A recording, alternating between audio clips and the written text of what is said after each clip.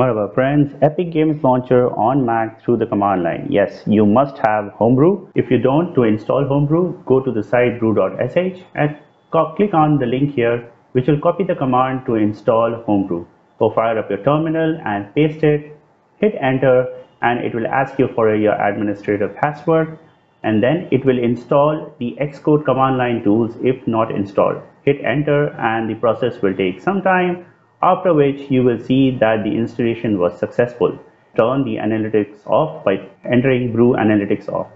It so happens that sometimes brew will not install these cask and the services.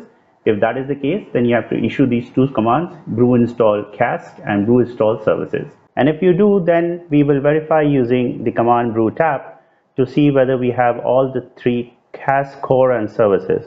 We require cask, core is by default, you can also add services. All right. So we issue the command brew search to search if there is any cask by the name epic games. So we'll search in the description. The dash dash desc means description and we'll hit epic dash games. And brew gives us a cask is saying epic games launcher for epic games games okay that's funny okay so to install it, we just need one command to rule them all and we say brew install epic dash games. Yes guys, it's that simple and you can forego drag and drop going to the epic games site, downloading the appropriate DMG and then moving it to the applications folder. Oh, that is gone. Yeah, I mean, just get homebrew and one command is enough.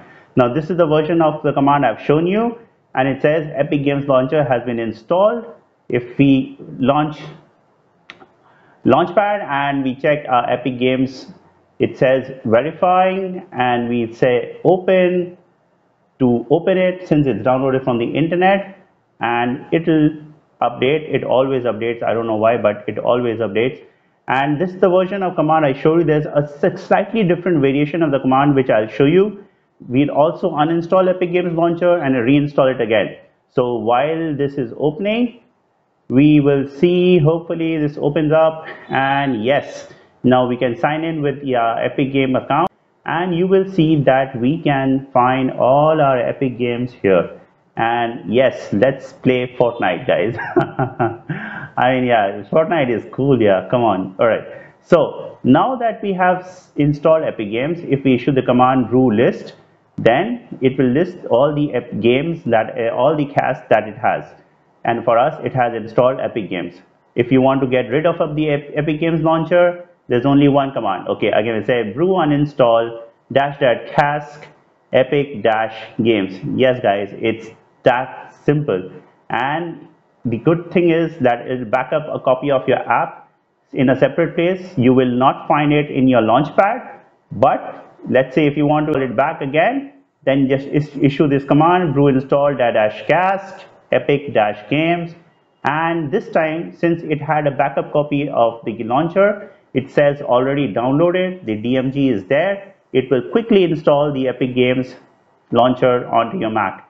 So launch launchpad and epic games launcher is there. So yes very easy no need to go to the website thank you so much guys take care Hopefully I'll see you next time. Bye bye. Thank you so much for your time.